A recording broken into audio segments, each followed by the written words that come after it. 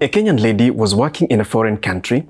All was going well until something happened that landed her in jail and ended up being deported back to Kenya. Here is the extraordinary story of the ordeals of Lavenda Irene in a prison in a foreign country. My name is Kingori Wangeshi. Stay tuned. Lavenda Irene is a young, jovial Kenyan lady in her mid 20s. She had just completed high school, and Lavenda joined college, but dropped out as a result of lack of school fees. She decided to try her luck in a foreign country in 2020, but this time round as a worker. Previously, I was in a college, but due to fee, uh, because my mom is a single mother, due to fee, uh, I decided just to travel because I have other siblings behind me who are looking up to me. Yeah, that's why I decided to go because I had Egypt has a better pay than uh, Kenya. Her initial experience in Egypt was the cold weather she had not experienced in Kenya. It was the first time she was experiencing temperatures below zero. Around this time, COVID hit Africa and many countries applied the protocols to prevent the spread of the virus. She was first hosted by a cousin in Egypt who oriented her on life in Egypt. I finally got some job that's uh, around April 4th. I can remember very well. There's this agent uh, we went to because when you're, you're looking for work, uh, you're being taken by an agent. You go to the agent, you leave your details, you leave your your passport uh, photocopy, your passport photocopy, and then uh, they take you to work. So there's this agent. Uh, he stays in Catholic. Yeah. So we went that day, and uh, the family has to pick you first because uh, because it was during Corona. So we just had to do a video call. The first family that took me. Uh, I worked with them for some quite a, a time, but uh, the work wasn't favorable. Yeah. So that's when I left. And it was not favorable because she was given responsibilities she had not signed up for.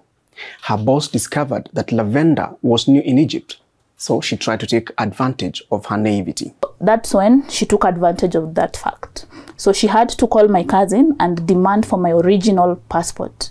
But uh, I had it's against the law, like they shouldn't have it, you know. So because we wanted work and because you're desperate for money, you know, uh, my cousin brought the passport, but I was never allowed to see her. Her boss then seized her mobile phone and started abusing her physically. Lavenda would barely sleep as the work was too much, and at other times she would not be given enough food despite the amount of work she had without rest. I can't communicate to my cousin. They're trying to call. My cousin tried to call several times, but she's like, no, she's okay. She doesn't want to talk to anyone and all that. On the other hand, her boss's husband also started making advances at her, touching her inappropriately and buying her silence with some money. She would take the money because at the back of her mind, she planned an escape and this money would come in handy. One day, her boss wanted to use a knife against her.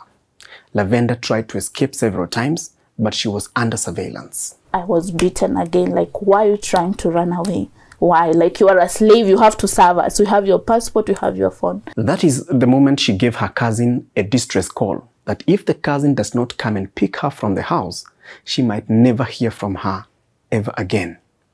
The Kenyan embassy tried to intervene, but still the family would not let her go. So, uh, remember, I told you the agent that took me to this uh, work, uh, he worked in a Catholic, and this family was a Christian, basically. Yeah. So, the, they're Christians. We have Christians in Egypt. So, that's when they had to contact the father of the church, and the father demanded a video call. So again, they started beating me. I remember that day she called me up in the villa and uh, she gave me one slap. Like it, it swelled a lot, and I was crying. Yeah, that day I was so bitter. And then uh, I started thinking a lot. At that time, I was still in the world, and I didn't know. I, I kept telling God, "You don't exist because if you exist, why would I go through such thing?" You know. She kept lying that she is okay when inquiries of her welfare were done. However, finally the family let her go. She got into another house and she was well received by a divorced woman. After six months, she got married and they moved to a bigger house with her new husband. we are we've shifted to a higher place you know you you have to expect higher salary and all that yeah so uh, god blessed her with two beautiful twins yeah, she gave birth, and that's when she had to employ more staff. Mm-hmm. Yeah, to take care of the twins. So we were three nannies in the house. Okay. Yeah, and there are, uh, there were other Egyptians who were still working around because the house was very big. Mm-hmm. Mm. Lavenda's job and relationship with her boss was okay at the beginning, even giving her empty promises like taking her back to school. This lady was a very busy online influencer, a point to keep in mind as we progress. After two years, the lady started to change. First, she accused Lavenda of stealing her designer handbag. Lavenda went for vacation and never came back to the house. The lady, however, kept calling her back. So uh, I gave it a thought because still she opted for a higher salary. It's not because of the salary. Okay, I went to Egypt to look for capital. That's true. But uh, you can't compare capital with your life. So uh, she told me that the boy is very bad, like miserable. The, the grades have gone down. The boy keeps calling my name. Please just come. Out of that empathy, because I loved him so much, I, I, I told him I told the madam one thing. If you want me to come back to your house, remember to you I left as a thief because you accused me. I want you to correct that. If you want me to come back to that house, you have to correct what you started. And she's like, Okay, I know you didn't take it. Mm-hmm. Yeah, she told me, I know you didn't take it, and I know who took the bag, and I'm sorry because I accused you. And because of that, I'll make amends and I'll increase your salary. Okay. Yeah, so I was happy because that was the ticket for me to was go a good back. deal. Yeah, it was a good deal. Mm-hmm. In December 2023, she gave in to the lady's requests. Her work was to serve the man of the house with food. But the lady of the house had a weird behavior. She would treat the soup of the man of the house with some pounded drugs. So they trusted me with Mister's food a lot. Yeah, so I would serve breakfast and I would serve dinner for this guy. Mm-hmm. And uh, something weird used to happen because uh, there are times that uh, it's not once, it's not twice that the madam did this. Uh, she would just come to the kitchen and there's this, uh, I don't know how to call it in English, kinu, you know, the one you, you put something like maybe garlic na unaswaga. Uh, You know- pestle and mortar. pestle and mortar. Yeah, Yes. Thank you. So um, she had three types of drug that she should mix in this pestle and mortar, and then send me with the food and take it to the guy. After taking the soup, the guy would sleep for about three to four hours continuously. She used to do that and take Mister's visa. Mister had this golden visa. Yeah, I, I heard that if you have it, you're very rich. Mm-hmm. I don't know about that though.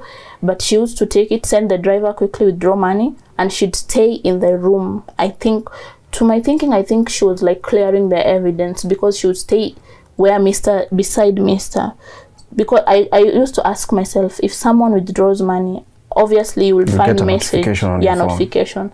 So Mister would just wake up. Okay, The situation was so bad that Lavenda wanted to quit. She was a very prayerful lady and she kept praying for her safety. She was later accused of stealing her boss's wedding ring. A psychic was even called to establish the thief amongst the servants. The psychic picked Lavenda. she was uh, she came uh, close to where I was and she's like, you know, if we don't find this ring, blood has to shed. She repeated the statement thrice. If we don't find this ring, blood has to shed. If we don't find the ring, blood has to shed.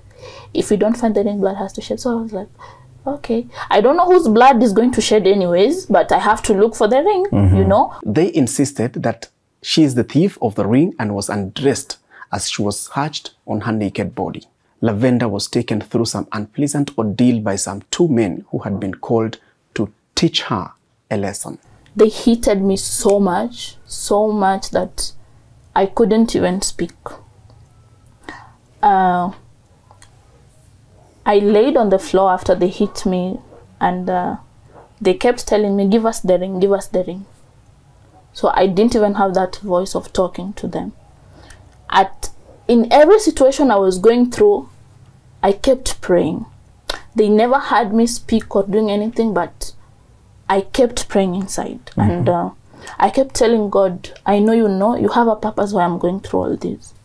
Ultimately, Lavenda was then thrown into jail for a crime that was not proven. At the jail, she was discriminated against and taunted by the guards. She would go for days without food and would go on her menses days without sanitary towels. And uh, I won't deny the fact that God has been there for me. Yes. At times I'll just hear voices, you know, but I might say this, someone might take it as a joke, but God is real. Because I remember this day when I was sick, I didn't eat for two days. I was so weak. I had to crawl to the to the toilet. It was very dirty because we, we, we share it, you know, you have many people. So I had to crawl and go drink the water. The cistern, the toilet, Yeah, toilet yeah. water, the one that used to flush.